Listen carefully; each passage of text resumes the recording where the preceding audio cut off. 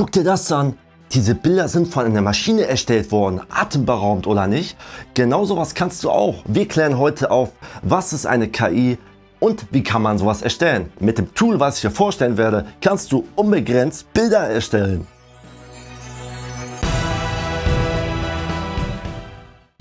Ui, das Video fängt da schon an. Gut, dass du da bist. Dann können wir direkt mit dem Thema beschäftigen, mit der künstlichen Intelligenz.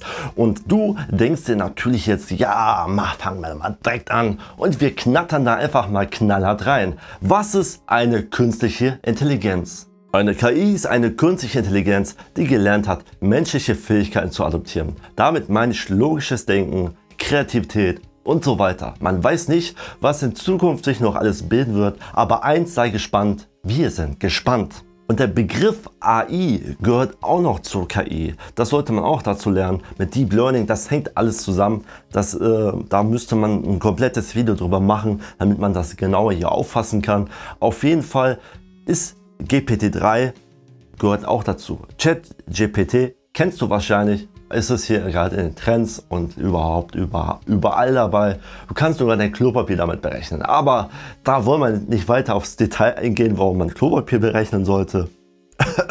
Schlechte Zeiten, ne? Weißt du Bescheid? Ach, wir wissen jetzt, aha, hm, KI ist eine Maschine, die kann uns nachahmen. Okay, was kann das Ganze? Es kann eigentlich fast alles. Es kann Musik produzieren, Bilder produzieren, alles Mögliche. Du musst es dir nur beibringen mit Deep Learning. Du musst die mit Informationen füttern, damit diese KI dann auch weiß, was sie zu arbeiten hat. Ja, und welche AI, KI, Tools, Software gibt es?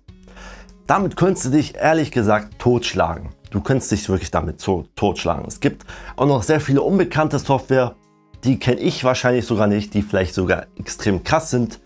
Aber wir wollen jetzt, ich, ich werde heute mal eins vorstellen, damit du dich da schon mal ein bisschen reinarbeiten kannst.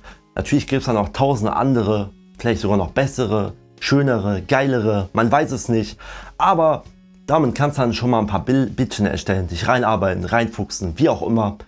Auf jeden Fall arbeiten wir mit Stable Diffusion 1.5 und 2.1. Hey Google, schick Ali einen dicken Döner. Hier sind einige Ergebnisse. Ja, Genau, Ergebnisse. Wir gehen jetzt einmal auf unsere Lieblings-Google-Maschine und geben hier Mage.space ein. Nach dem Ergebnis, nach dem Suchergebnis, das hier angezeigt wird, müsste das die erste Seite sein. Mage.space. Kein .de oder so. Space ist schon die Endung.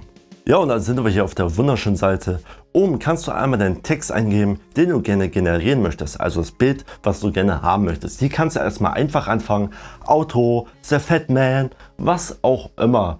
Unten stellst du dann die Parameter ein. Hier kannst du einmal einstellen, welches Bildformat du haben möchtest, die Qualität, die kannst du hier noch von 25 auf 50 einstellen. Aber wenn du dich jetzt anmeldest, dann kannst du das auch ändern. Und hier kannst du Stable Diffusen 1.5 und 2.1 auswählen. 2.1 musst du dich auch für anmelden. Aber dazu kommen wir auch gleich. So, und dann kannst du unten noch die Guardians einstellen. Die Guardians of the Galaxy. Nein, ich weiß, ich spreche einiges falsch aus, aber ich bin Sprachlegastheniker. Willkommen im Club. Was ist überhaupt die Guardians? Genau, das ist dafür da, um einzustellen, wie genau und wie viele Freiheiten die KI hat, um dieses Bild zu generieren. Gehst du auf sehr strengen Modus, dann soll er genau das generieren, was du oben stehen hast. The Fat Man, dann generiert er auch nur dicke Männer. Fertig. So, ich gebe es einfach mal oben Fat Man ein, was auch immer, ne? Fat Boy, wer kennt es nicht? The Worms, ne? Richtig Atombombe und alles drum und dran. Dann musst du rechts einmal auf Generieren klicken oder auf Enter, dann wird das Bild generiert. Das könnte ein bisschen dauern, dementsprechend was für Qualität man eingestellt hat. Und dann öffnet sich das gleich nur als Fenster und dann siehst du schon, er hat es generiert. Aber wer ist er denn? Einfach mal so ein Mafioso-Boss? Nein, warte mal. Das ist das Boss-Baby, Alter, Mitte, Mitte 50 und haarlos, Alter. Da hat sich ja nicht viel geändert, oder? Der Boss-Baby einfach mal ja auf einen Faller zu machen, ne? Aber Spaß beiseite. So, wir haben das hier generiert, ne? Alles wunderschön. Dann hast du rechts noch ein paar Details da stehen. Da steht dann hier so Informationen, wie groß das Bild ist, wie groß und wie groß das Bild ist. Weißt du Bescheid, das Bild ist groß. Groß ist es her, lang ist es her. Nein, Scherz. Du kannst oben jetzt das äh, Bild noch mal ein bisschen verbessern, damit die Qualität noch mal ein bisschen hochskaliert wird. Das wird dann mit der KI hochgerendert und so. Du kannst das noch äh, die Skalierung ändern. Da kannst du breitere Bilder machen, mehr auf äh, Hochformate, trainierte Bilder und so weiter. Für bestimmte Szenen lohnt sich da wirklich, das dann auch umzustellen. Zum Beispiel Witze eine Fußballmannschaft auf das Bild haben, dann lohnt sich eher ein breiteres zu machen, weil im, ein Bild, was im Hochformat ist, da passt keine Fußballmannschaft drauf. So, jetzt generiere ich das Bild einfach nochmal neu und dann sehen wir mal, was so dann noch kommen wird. Aber was ist das denn, Alter? Stammen die von der Metzgerei ab, oder? Junge, die im Zuchtprogramm gucken die gerne, gerne dabei zu, ne? Aber Spaß beiseite, ne? Ja, wie gesagt, kannst du dich reinfuchsen. Wir melden uns einfach mal auf der Seite an. Das kannst du ganz einfach mit Google machen, dich mit Google da einloggen.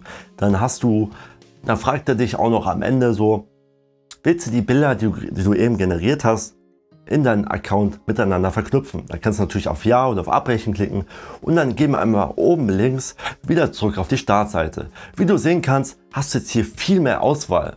Jetzt hast du die Möglichkeit auf Stable Diffusion 2.1 aufzusteigen. Ist es besser? Nein, nein ist sie nicht. Ist nur nicht gut trainiert. Also so kommt die mir manchmal vor. Wenn ich da Man eingebe, dann generiert ihr irgendwelche Zeitungsartikel, muss man nicht verstehen, oder? Muss man nicht verstehen. Deswegen bleib auf 1,5, da kannst du dich schon mal so ein bisschen äh, reinarbeiten. Du kannst aber jetzt die Qualität unten auf 150 machen. 150 bedeutet bessere Bilder. Also, wenn du jetzt da oben guckst, dann siehst du noch mehr die Leiste, wo du den Text eingibst. Ne? Wenn du jetzt rechts dahin gehst, dann siehst du ein kleines Bild da. Da klickst du drauf. Dann kannst du jetzt ein Bild als Vorlage nehmen. Wenn du zum Beispiel jetzt einen Arsch nimmst, dann generiert er ähnliche Ärsche. Muss man nicht haben, ich weiß, aber manchmal muss man ein bisschen Spaß haben, oder? So, das weißt du schon mal Bescheid, wie, die, wie das Ganze funktioniert. Und wenn ich jetzt noch auf Generieren klicke, ist mir irgendwas passiert, ist mir das Bild generiert worden.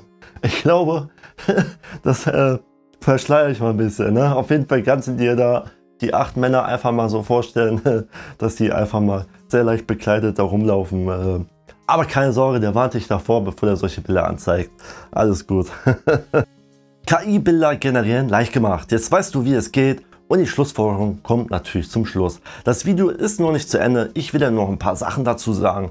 Nämlich, bald kommen noch mehr Tools, die ich vorstellen werde. Einige sind noch besser als wie das jetzige gezeigte Programm oder Tool.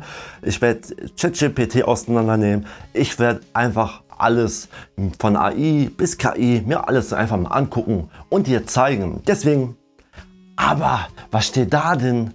Folge Antiwissen, bald kommen noch mehr solche Videos. Und wenn ich jetzt sage, okay Google, sing mir ein Lied vor. Ein Lied, das sing ich gern für dich, doch muss ich sagen, ganz ehrlich, singen ist mir wunderlich.